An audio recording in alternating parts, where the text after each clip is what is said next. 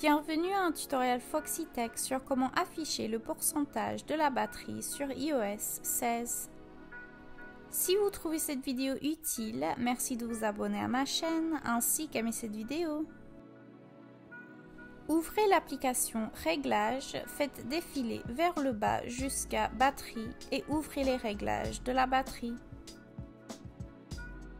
Cliquez sur le bouton à droite de pourcentage de la batterie pour activer le pourcentage de la batterie. Comme vous pouvez le constater, le pourcentage de la batterie est maintenant visible en haut à droite de l'écran. Et cela met un terme à ce tutoriel. Merci d'aimer la vidéo si vous l'avez trouvé utile et de vous abonner à Foxytech pour plus de conseils et astuces iPhone.